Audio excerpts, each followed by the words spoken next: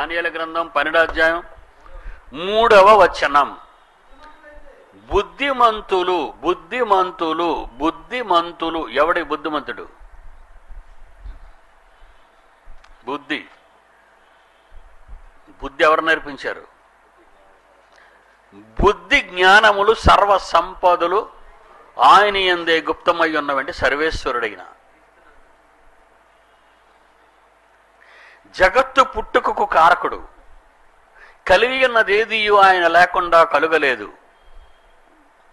మానవుల కొరకు తన ప్రాణాన్ని అర్పించిన ప్రేమామయుడు. మనుష్యులందరూ నాశనానికి పోకుండా చివరి రక్తపు బొట్టు వరకు పబ్లిక్లో ప్రజల కొరకు కార్చిన హీరో.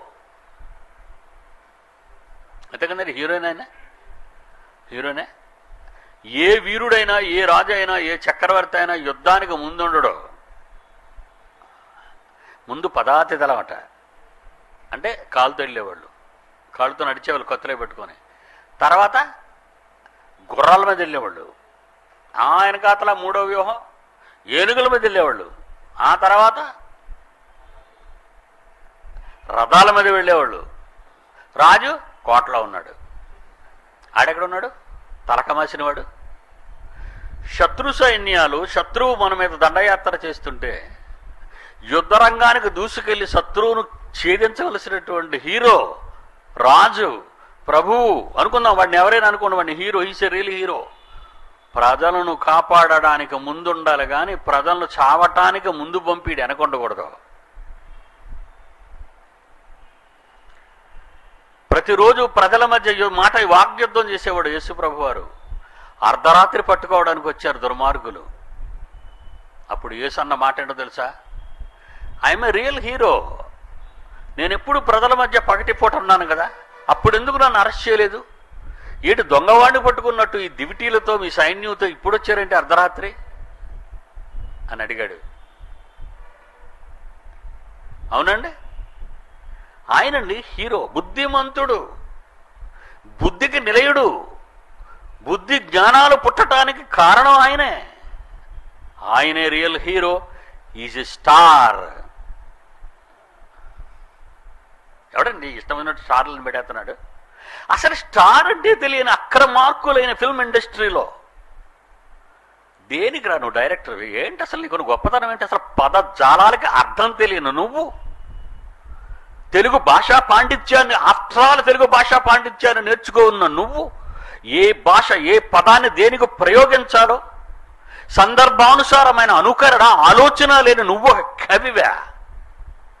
నువ్వు ఒక సినిమా రచయితవా? నీ రచనలు సమాజాన్ని పాడు చేస్తున్నాయని ఏ రోజైనా ఒక్కసారి నువ్వు కన్న నీ పిల్లల ముందు నిలబడి గుండె మీద చేసుకొని ఆలోచించరా? నీకు తెలుస్తుంది ఏం రాస్తున్నావో? నాకు చాలా కోపం ఇండస్ట్రీ అంటే చాలా కోపం. మాఫియా గాళ్ళు అందులోనే ఉన్నారు. మత్తు పానీయాలకు అలవాటు పడిన మాఫియా వ్యభిచార మాఫియా అందులోనే ఉన్నారు. దొంగలు ఉన్నారు దోపిడిగాళ్ళు ఉన్నారు.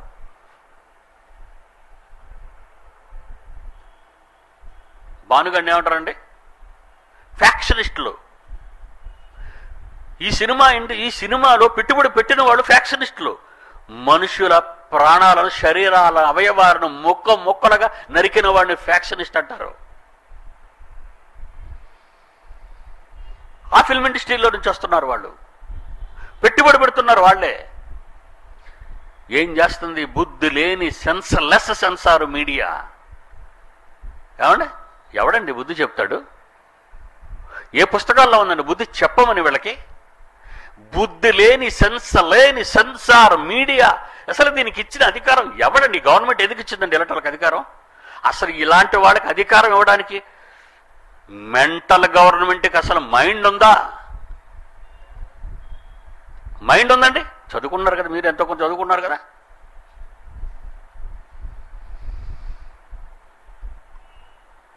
దేవుని పిల్లలారా అదృశ్య శక్తి అసలు స్టార్ అనే పదం దేనికి ఉపయోగిస్తావు తెలుసా నువ్వు? బుద్ధిమంతులకి. రెండో అధ్యాయం మతేసు వార్త. ఎన్నో వచనం? మొదటి వచనం.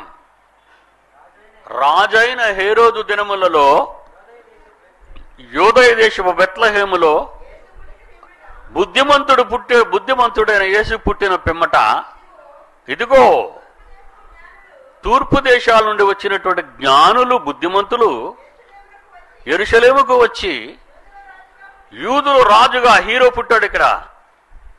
యూదులు రాజుగా పుట్టిన హీరో ఎక్కడున్నాడు అని ఎవరన్నారు? సినిమా కథలు రాసిన రచయితలు కాదు. చెత్త సినిమాలు డైరెక్ట్ చేసిన డైరెక్టర్లు కాదు. డబ్బు కోసం సమాజాన్ని పాడు చేసే బూత్ సినిమాలు నిర్మిస్తున్న దౌర్భాగ్యులైన ప్రొడ్యూసర్స్ కాదు. జ్ఞానులు. జ్ఞానులు అంటున్నారు. ఏమని?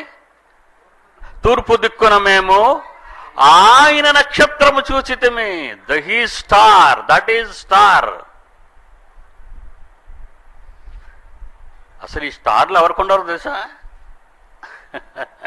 సమాజం కోసం తమ ప్రాణాన్ని అర్పించిన చివరి రక్తపు బొట్టు వరకు అర్పణ చేసిన వానికి ఇవ్వాలి స్టార్. ముఖానికి రంగులేసుకొని ఒంటి మీద గుడ్డలున్నాయో లేదో చూడకుండా ఆడపిల్లల కన్నా తల్లిదండ్రులు కానీ మగవాణ్ణి కన్నా ఈ తల్లిదండ్రులు కానీ ఈ దౌర్భాగ్యులు వెండు తెర మీద అతి పెద్ద బొమ్మ చూపిస్తూ దాని గుడ్డను ఒంటి మీద గుడ్డలు లేకుండా ఫ్యాషన్ షోలని సెక్స్ బొమ్మలతో ప్రతి చిత్రంలోనూ ఒక వ్యభిచారి లక్షణాలతో కూడిన భంగిమలతో అశ్లీలత అసభ్యకరమైనటువంటి డ్యాన్సులు వేయిస్తూ ఈలలు వేసి చప్పట్ల కొట్టి పసిబిడ్డవాణ్ణి సైతం దానిలాగే డ్యాన్స్ వేయించాలని దిక్కుమారుని ఈ మీడియా సన్నాసులు సపరేట్ ప్రోగ్రామ్స్ ఆట పాట వంట వార్పు చెత్త చెదారం. ఇరవై నాలుగు గంటలు వ్యవస్థను పాడు చేసే ఈ దౌర్భాగ్యులు ఎవడండి వాడికి ఇచ్చాడు సూపర్ స్టార్ అని? ఎవడండి వాడికి ఇచ్చాడు మెగా స్టార్ అని? మకాలకు రంగులు వేసుకుని కోట్ల రూపాయలు ప్రజాధనాన్ని కొల్లగొడుతున్న ప్రొడ్యూసర్స్ దగ్గర నుంచి నువ్వు డబ్బు తీసుకుంటున్నావే. నీకు స్టార్ అనే పేరు పెట్టుకుని అర్హత ఎవడు? ఎవడిచ్చాడు నీకు అసలు స్టార్ అని? ఎవడు పేలాడి మాట స్టార్ ఇవ్వాలని? స్టార్ అంటే ఏంటో తెలుసా? ప్రజల కోసం ప్రాణాలు అర్పించే త్యాగధనుడు స్టార్ అంటే ప్రజలను కన్న బిడ్డలుగా చూసి ప్రజల కోసం తన బ్రతుకును అర్పణ చేసిన ఒక మహాత్మా గాంధీని స్టార్ అను.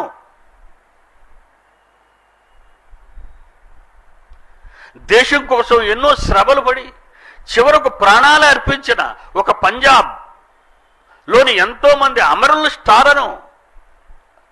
ఈ దేశానికి స్వాతంత్రం తీసుకొచ్చిన ఎంతో మంది బ్రిటిష్ వారు తుపాకీ గుళ్ళతో వాళ్ళ ఇనుప పాదాల కింద తొక్కబడిన తొలి భారత సమర యోధులనిపి వాళ్ళకి చెప్పొస్తారని రంగులు పూసుకొని కోట్ల రూపాయలు దండుకుంటూ వ్యభిచార వృత్తులను ఎన్నుకుంటూ డ్రగ్ మాఫియాలో తలదూరుస్తూ చేసిన నీచాతి నికృష్టమైన పనులను కప్పిపెట్టక కప్పిపెట్టుకోవడానికి ఇక పొలిటికల్ ఇండస్ట్రీలో ప్రవేశిస్తున్నావే నువ్వు. తర్వాత ఈ దొంగలందరికీ కాపు కాసేపు ఇంకొక ఇంకొకటి ఉంది ఇంకొక industry that is political industry Rajya Sabha మెంబర్లు అందులో చూడండి ఎవరున్నారో? ప్రజల కోసం ప్రాణాలు ఇచ్చేవారు కాదు అక్కడ. సినిమా యాక్టర్లను తీసుకొచ్చి ఫుడ్ క్రికెట్తో ఆడుకొని కోట్ల రూపాయలు సంపాదించి మన దేశానికి ఏమైనా పేరు తెస్తున్నాడు? పేరు ఆ పేరు వస్తే సుఖం అన్నం పెట్టరా? ఏమంటే నా వల్ల విశాఖపట్నానికి పేరు? ఏ దేని ఏనికి పేరు? దేనికి పేరు? నువ్వు బేడతో బంతిని కొట్టావనా? కాదా? నీ సంపాదన అంతా కరెంటు లేని గ్రామాలకు కరెంటు వేయించావు. నీళ్ళు లేని ప్రాంతాలకు నీళ్ళు ఇవ్వు. ఆకలితో అలమటిస్తున్న వాళ్ళకి అన్నం పెట్టు. బేట కొట్టినంత మాత్రంలో నువ్వు ఆటగాడిగా స్టార్ ఆటగాడిగా రాజ్య రాజ్యసభ మెంబరు. సమాజాన్ని పాడు చేసే ఒక ఫిల్మ్ నటుడిగా నువ్వు రాజ్యసభ మెంబరు పార్లమెంట్ మెంబరు. ఉన్న వాళ్ళంతా అక్కడ దొంగలైనప్పుడు దొంగలకే చోటిస్తారు. ఇప్పుడు ఎవర ఎక్కడండి కనిపించింది దెయ్యం మీకు? వాళ్ళ క్యారెక్టర్లో కనబడుతుంది వాళ్ళ బ్రతుకుల్లో కనబడుతుంది. సమాజాన్ని నాశనం చేస్తూ వాళ్ళ అదృశ్య రూపాలలో కనబడుతుంది దెయ్యం. ఎక్కడుందండి దెయ్యం? ఎవరిని స్టార్ అని megastar super star power star పనికి మాలిన స్టారు అసలు స్టార్ అనే పేరు ఎత్తడానికి నీకు అర్హత లేదురా చిట్టి కన్నా తమ్ముడు. నువ్వు డైరెక్టర్ అవ్వచ్చు ప్రొడ్యూసర్ అవ్వచ్చు ఒక పెద్ద ఇండస్ట్రీ పేరు చెప్పుకొని ఒకనాడు బొగవడుతో ఆరంభించిన నీ చిన్ని నాటకాలు ఈరోజు పెద్ద ఇండస్ట్రీ అని నువ్వు అనుకుంటున్నావు. నీ ఇష్టం వచ్చినట్టుగా పేర్లు మార్చుకుంటున్నావు. నీ ఇష్టం వచ్చినట్టుగా రాజ్యాంగాన్ని మార్చేస్తున్నావు.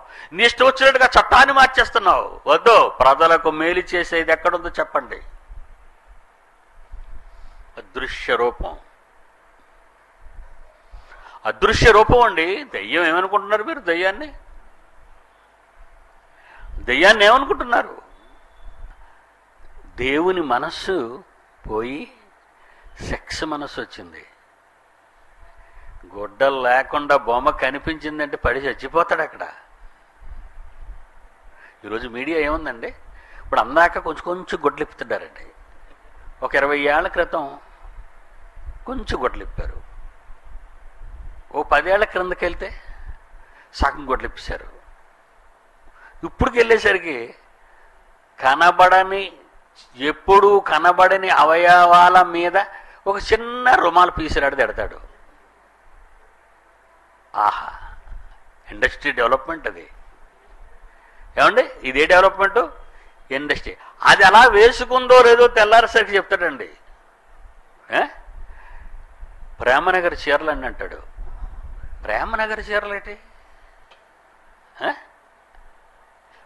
కొన్ని వెధవ సినిమాల పేర్లు చెప్పి ఆ సినిమా పేర్లో ఆ నటు నటులు ధరించుకున్న డ్రెస్సులు దించి ఇవి పలానా మోడల్ అండి ఇవి పలానా మోడల్ అండి మన వాళ్ళు కూడా ఎగబాకేసి అవే కొనుక్కొని అందరూ చూడాలని ఎక్స్ట్రా ఎక్స్ట్రా ఎక్స్ట్రాడనరీ డ్రెస్ చేసుకుని రోడ్ల మీద నడుస్తుంటే ఎలా ఉంటుందండి? ఎలా ఉంటుంది చెప్పండి? అదృశ్య రూపం. ఎంతవరకు దించింది ఈ వ్యవస్థని? డే అండ్ నైట్ దీని గురించి నువ్వు ఆలోచించవు. ఎవర్రా చెప్పారు నీకు ఆకులు కట్టుకోమని? అంటే ఎప్పుడు నీకు ఆలోచన వచ్చేసిందా? నా నుంచి బాగా వినాలి ఇదే ఇదే మంచి పాయింట్ క్లైమాక్స్ పాయింట్. నోట్ చేసుకోవాలి జీవితంలో మర్చిపోకూడదు ఇది. నన్ను కాదన్న తరువాత మీకు కావాలన్న వాటిని గురించి మీరు ఆలోచిస్తున్నారు. మీకు అర్థమైందో లేదో మళ్ళా చెప్తాను.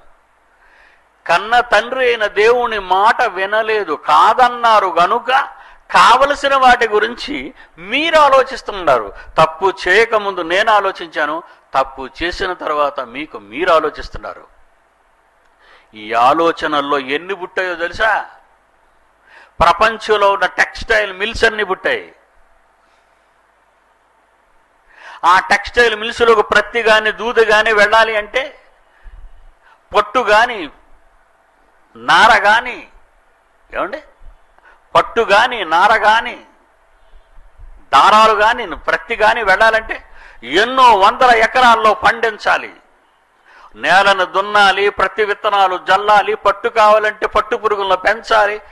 బిజీ అయిపోయి చూసారండి ఆఫ్టర్ ఆల్ వీడు ఒక బట్ట వేసుకోవటానికి వెనకాతల ఎంత ప్రణాళిక తయారైందో చూడండి. ఆలోచింప చేసింది. ఆలోచించు. ఆకు ఆలోచించు ఆలోచించు ఆలోచించాలని అంటుంది అదృశ్య శక్తి. ఏం ఆలోచిస్తావు? ఆయనతో ఏం మాట్లాడతావు నువ్వు? ఆయనతో నువ్వేం మాట్లాడతావు? ఆయన రాకముందేనా మీరు ఆకులేసుకున్నారు? ఇటు ఆయన ఉంటేనే మీకు బ్రతుక. ఆయన లేకపోతే నీ గురించి నువ్వు ఆలోచించుకోలేవా? నువ్వు ఆలోచించుకోలేవా? ఆకులు కుట్టుకో. ఆకులు కుట్టుకోమన్నది కానీ ఆకులు కుట్టి నీకు ఇవ్వలేదు. ఇది సీక్రెట్. ఎవరో? దేవుళ్ళైపోతారని చెప్పింది అది దేవుడు లాంటి వారైపోతారని అన్నది అది ఇది నిజమా? ఒక అబద్ధాన్ని చెప్పి ఒక అబద్ధాన్ని నమ్మించి తాను కష్టమంటే ఎరుగని మొదటి మానవునికి ఆకులు తీయించి ఆకులు తీసుకోమని కచ్చడాలు కట్టుకోమని చెప్పి పరారైన ఇది. ఆ వేళ నుంచి ఆనాటి నుండి ఆ తొలి మానవుల దగ్గర నుంచి బట్టలు వేసుకోవాలా? జంతువులైనా చంపాలి. బట్టలు వేసుకోవాలంటే నేల అయినా పండించాలి. పత్తి పురుగులనైనా గోనె నారలైనా అవిస నారైనా ఊలైనా జంతువులు పెంచి. ఎంత పని పెట్టిందయ్యా మీకు? నాన్నాని తండ్రి రాగానే ఏదేనులో పరుగెట్టవలసిన ఆదామవ్వలు? ఏమి నాన్నలే పద ఇప్పుడు మనకు తిండి లేదు. ఏమి నాన్నలే పదా మనకు ఇప్పుడు గుడ్డలు లేవు. ఏమి దేవుడులే? మనకి ఎవడు తిండి పెడతాడు? మనిషి తన కొరకు ఆలోచించుకోవడం ప్రారంభించి ఆ ఆడి గురించి ఆలోచనలో ఆలోచించి ఆలోచించి ఆలోచించి బ్రతుకు చించుకున్నాడు. ఎందుకు పుట్టాయి మిల్స్ అని చెప్పండి ఇప్పుడు? టెక్స్టైల్ మిల్స్ అని ఎందుకు పుట్టాయి? ఒళ్ళు కప్పుకోవాలని. ఒళ్ళు కప్పుకోవాలని ఎవడిచ్చాడు రా నీకు సలహా? కన్న తండ్రి దేవుని మాట మరిచి నిన్ను నీ పనిలో పనికిరాని ఆలోచనలో నిన్ను ముంచి ఏమి తిందుమో ఏమి త్రాగుదమో ఏమి ధరించుకుందామో అన్న ఆలోచనలోనికి నిన్ను నెట్టేసి దేవుడన్న వాని గురించి కన్న తండ్రి గురించి ఆలోచనలే నీకు రాకుండా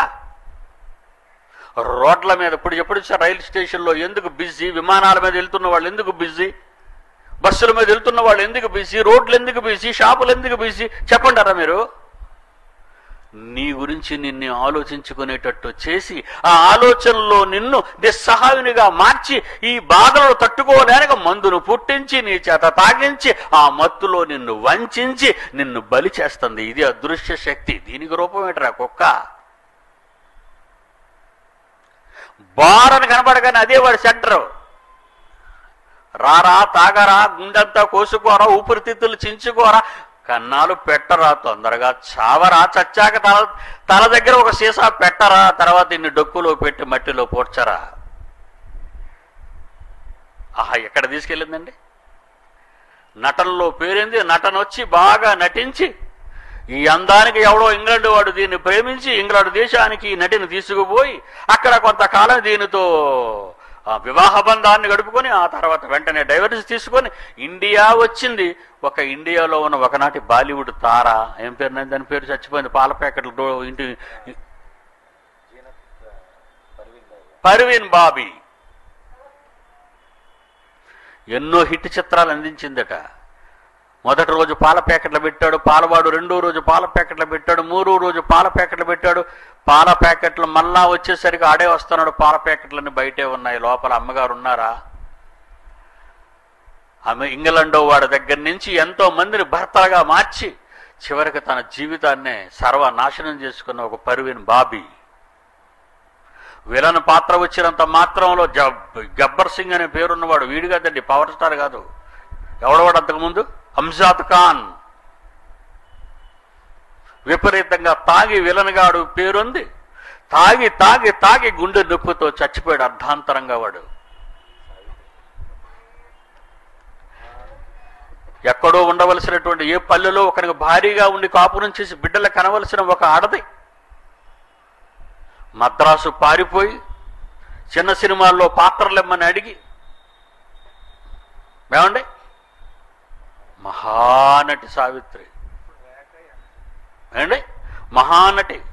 అందులో నటించే ఒక గర్భదరిద్రుని ప్రేమించి వాడిని భర్తగా చేసుకొని ఆ తర్వాత తన బ్రతుకంతా మందులో పెట్టి తాగి తాగి తాగి చచ్చింది టాలీవుడ్లో మహానటి సావిత్రి. అలాగే దీనిలాగే నార్త్లో కూడా తాగి తాగి తాగి చచ్చింది ఒక మీనాకుమారి సినిమాలో జీవితాలు తెరల మీద చూస్తుంటే మహాపతివ్రతలు. వాళ్ళ బ్యాక్ వెళ్ళి చూడండి ఆ స్టార్ వెనకాతలు చీకటంతా భర్తలు మార్చి పిల్లల్ని విడిచిపెట్టి దేశాలు పారిపోయి గుటకారకు కైనీలకి బ్రౌన్ షుగర్లకు అలవాటు పడి మత్తు పానీయాల్లో ఫ్యాక్షనిస్టుల పడకలకు పడకల వాళ్ళ మత్తు వాళ్ళ మంచాల మీదకి ఎక్కినటువంటి నటీ నటుల గురించి ఆలోచిస్తుంటే it is not a industry it's hell industry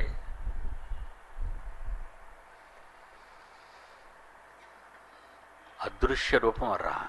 ఎందుకు ఆలోచించావు? ఎందుకు నీ గురించి ఆలోచించావు? గుడ్డలు కట్టుకోవాలి ఒళ్ళు కనపడకూడదని అంటే ఒంటి ఒంటి మీద నీ మనసుకు మార్చింది నీ కళ్ళు నీ నీకిచ్చిన నీ దేహం మీద కేంద్రీకరింపచేసింది దుష్ట శక్తి. కాళ్ళు కావాలని కాళ్ళు ఇచ్చింది నీకు కాళ్ళు ఇచ్చింది దేవుడు తనకు కాళ్ళు నీకు ఇవ్వాలని ఆ కాళ్ళతో ఆయన కొరకు నడవాలని. మట్టి బొమ్మను చేసిన రోజున ఆది తండ్రిని మట్టితో తయారు చేస్తున్న రోజున సర్వకు సృష్టికర్త అయిన కన్న తండ్రి అయిన దేవుడు నీకు నూరిచ్చింది ఆయన గురించిన స్పష్టమైన మాటలు పలికి అనేక మంది మనసులను మార్చి తప్పిదములో నుండి మంచిలోకి నడిపించమని కన్న తండ్రి దగ్గర తీసుకురమ్మని నోరిస్తే ఏంట్రా నీ ఎదవ పాటల? పాపా అడే పాడి దరిద్రుడు పాడాడు. కొలారే పాట పాపా అన్నాడు.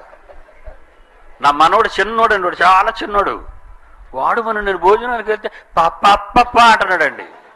ఈడికెవడు ఈ పడపప్పారా నన్ను?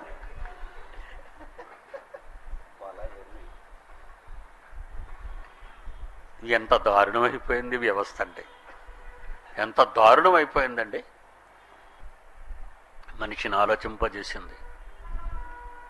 అన్నదమ్ముల మధ్య గొడవలు పెట్టింది. హెబిలుని చంపేటట్టుగా కయ్యకు ప్రేరణ ఇచ్చింది. హత్యలు జరుగుతడం హత్యలు ప్రారంభమయ్యాయి. హత్యలు ప్రారంభమయ్యంటే పెద్దల కమిటీలు ఏర్పడ్డాయి. పెద్దల కమిటీల నుంచి పోలీస్ స్టేషన్లు వచ్చాయి. పోలీస్ స్టేషన్ నుంచి కోర్టులు వచ్చాయి. కోర్టు నుంచి జైళ్ళు వచ్చాయి. ఎందుకు? ఇవన్నీ ఈ ఇండస్ట్రీ ఎందుకు పుట్టింది? జుడిషియల్ ఇండస్ట్రీ ఇది. ఆ? అన్నదమ్ములిద్దరూ సౌమ్యంగా ఉండి ఒకరినొకరు ప్రేమించుకుంటే ఆ ప్రేమన్నదే ప్రపంచంలో పుడితే ఆ ఏదైనా వాతావరణమే అలాగే ఉంటే ఆ ఏదోనులోంచి గెంటివేయబడిన తర్వాతే కదండి కయ్యనిగాడు కయ్యనిగాడు తర్వాత హేబులో పుట్టాడు కయ్యనిగాడు ఎందుకండి చంపాడు తమ్ముణ్ణి? హంతకుడుగా ఎందుకు మారాడండి? ఎందుకు మారాడు? చంపుకుంటున్నారు కొట్టుకుంటున్నాను అల్లర్లు పడుతున్నారు అల్లర్లు కొడుతున్నాయి కనుక ఏం కావాలి ఇప్పుడు మనకి? ఇప్పుడు మనకి ఏం కావాలంటే పోలీసు స్టేషన్లు కావాలి న్యాయ వ్యవస్థ కావాలి తప్పు చేసిన వారిని జైలుకు పంపడానికి జైలు వ్యవస్థ కావాలి. ఏ ఎందుకండి పుట్టాయి ఇవన్నీ? దీని వెనుకున్నది అదృశ్య శక్తి. ఒకనొక లోకానికి పోయి సంపాదించుకుందామని ఎందుకు ఆలోచన నీకు వచ్చింది? డబ్బు సంపాదించాలి మేడలు కట్టాలి వందల ఎకరాలు కబ్జా చేయాలని దౌర్భాగ్యపు ఆలోచన నీకు ఎందుకు వచ్చింది?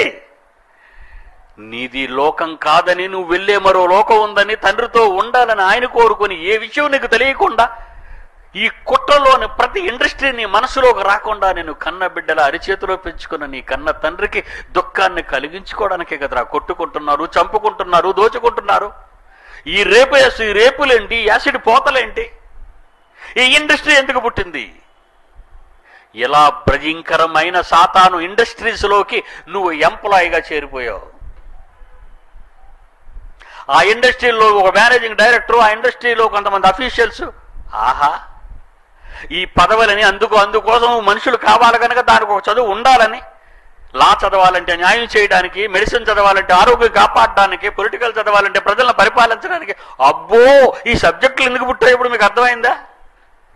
దేవుణ్ణు కాదన్నాడు గనుక దేవుడు పెంపకంలో ఉండడానికి ఇష్టపడని ఈ మానవుడు వాడు భవిష్యత్తును ఆలోచించడానికి సాతాన వలన ప్రేరేపింపబడిన వాడే. చదువుల తల్లి కలామ తల్లి నాయకత్వపు తల్లి వర్గాల తల్లి కులాల తల్లి మతాల తల్లి. ఇంతమంది తల్లులు ఎందుకు పుట్టారో తెలుసా? నువ్వే దాని మాట విని పుట్టించుకున్నావు. మనం ప్రపంచంలో ఎవరితోని గొడవ పడకపోతే మనకి ఎందుకండి కోర్టులు? పోలీస్ స్టేషన్లు ఎందుకండి? నల్ల కోట్ వేసుకున్న ఈ న్యాయవాదులు ఎందుకండి? ఆ నల్ల కోట్లు వేసుకున్న న్యాయాధిపతులు ఎందుకండి? వాడికి ఎందుకండి పదిహేను కోట్లు? ఇప్పుడు లోపల ఉన్నాడండి వాడు. చలపల జైలు తోసేశారు. న్యాయమూర్తి సిబిఐ న్యాయమూర్తి. మళ్ళీ ఇది చూడండి. ఎంత దారుణమో. వాడొక సీదొక సిబిఐ ఇండస్ట్రీ ఈ సిబిఐలో ఒకడు న్యాయమూర్తి. టూ జీ స్కామ్లో అరెస్ట్ చేయబడి గాలి జనార్దన్ రెడ్డి గాడు కోటాను కోట్ల రూపాయల ప్రజాధనాన్ని దోచుకున్నవాడు దేవుని ఆస్తులు దోచుకున్నాడు కొండడి బాబు సృష్టించాడా? హిమాలయ పర్వతాలు ఎవడండి సృష్టించాడు? ఎవడ బాబు సృష్టించాడు? ఎవడ తాత సృష్టించాడు అది? కన్న తండ్రి దేవుడు సృజించాడు. కన్న తండ్రి దేవుడు సృజించిన ఈ గుట్టలు ఈ కొండలు ఈ మెట్టలు పల్లప ప్రాంతాలు ఈ నదులు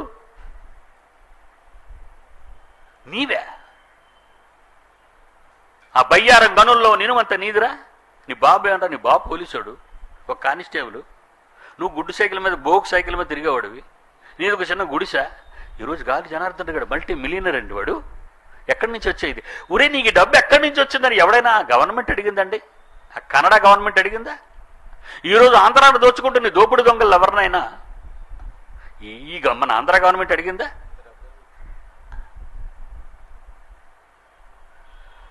నీళ్ళు లేవండి. న్యూస్లో చూపిస్తాడు. ఆడ ఆడవాళ్ళు బిందులు పట్టుకొని కొన్ని మైళ్ళ దూరం వెళ్తున్నారు నీళ్ళు కోసం. అయ్యో నీటి ఎద్దరు ఏర్పడింది. ఎంత భయం వరుణదేవుడు కనికరించలేదు. ఈ పదాలన్నీ డట్టి ఫీలో సాగేదని మాట్లాడతారు? నీళ్ళు నీళ్ళు దొరకటం లేదు. ఓకే. మొన్న విజయవాడలో ఒక పార్టీకి చెందినటువంటి నాయకుడు తన వాళ్ళతో కలిసి ఆ బ్యారేజ్ దగ్గర ధర్నా చేస్తున్నాడు. ఎందుకు? బాగా మీరు చూసే ఉంటారు. బాగా జ్ఞాపకం తెచ్చుకోండి. రెండు రోజులు మూడు రోజుల క్రితం. కృష్ణానదిలో జలాలన్నీ డ్యామ్ దగ్గర నుంచి ఎక్కువైపోయాయని సముద్రంలో విడిచిపెడుతున్నారు నీరు కృష్ణానది నీరంతా? ఎందుకు విడిచిపెట్టేస్తున్నా? ఎందుకు విడిచిపెడుతున్నావు నీళ్ళు. ఏమంటే నీళ్ళు దొరకనప్పుడు నీళ్ళు లారీ వచ్చినప్పుడు ఏమండి అందరూ బిందులతో ఉన్నప్పుడు ఆ నీళ్ళు తెచ్చిన డ్రైవర్ ట్యాంక్ ఇప్పేసి భూ నీళ్ళని వదిలేస్తాడు బయటకి ఏం చేస్తారు? ఏం చేస్తారండి? డ్రైవర్ని సూపర్గా టైర్ల కింద తీసి తొక్కిరు. వారి దరిద్రుడా నీళ్ళు లేక మేము చచ్చిపోతుంటే నువ్వేడ్రా నీళ్ళు తెచ్చినట్టు తెచ్చి అక్కడ ఇలా గుప్పేస్తున్నావు కాలువలోకి? ఒక బిందె కావలసిన నువ్వు రెండు బిందెలు పట్టుకెళ్తావే రెండు బిందెలు కావలసిన నువ్వు నాలుగు బిందెలు పట్టుకెళ్తున్నావే? నీరు కావాలి నీరు దాచుకోవాలని. ఎలాగొచ్చిందో తెలుసా ఈ నీళ్ళు? ఎలాగొచ్చాయో తెలుసా? ప్రపంచంలో ఎవడు చేయలేని పనిని దేవుడు చేశాడు నీకు మంచినీళ్ళు కావాలని. ఉప్పు సముద్రాన్ని వేడెక్కించి ఉప్పు అంతా అక్కడే ఉంచి మంచినీటిని పైకి ఫిల్టర్ వాటర్ని పైకి తీసుకొచ్చి ఆ నదుల్లోకి నీకు పోస్తే ఎక్కువైపోయి అని సముద్ర ఉప్పు నీటిలోకి మళ్ళీ వదిలేస్తున్నావా? నిన్నేం చేయాలి? నిన్నేం చేయాలి నిన్ను? మళ్ళీ ధర్నా చేస్తాడేంటి వాడు అక్కడ? డెల్టా భూములకు నీళ్ళు లేవు నీళ్ళు అక్రమంగా వదిలేస్తున్నారు. ఇంత వర్షం పడితే నీళ్ళు పట్టుకోవడానికి నీ దగ్గర డ్యాము లేదు. ఏ రెండు మూడు ఒక నది మీద రెండు మూడు డ్యాములు కట్టుకోవచ్చు కానీ నీకు నొప్పి నీకు డబ్బు లేదా నీకు? ఆ? గోదావరి మీద ఒక మూడు డ్యాములు కట్టరా? కృష్ణానది మీద ఒక మూడు డ్యాములు కట్టరా? కావేరి మీద ఒక మూడు డ్యాములు కట్టరా? కట్టు డ్యాములు కట్టు. ఒక్కొక్క రాష్ట్రంలో ఎన్ని డ్యాములు కట్టుకుంటారో కట్టండి. కట్టాలంటే కోటి రూపాయలు అయిపోతాయి. మరి మీ దగ్గర లేవా కోటి రూపాయలు? ఎవడబ్బ సొమ్మరా తీసుకుంటున్నారు?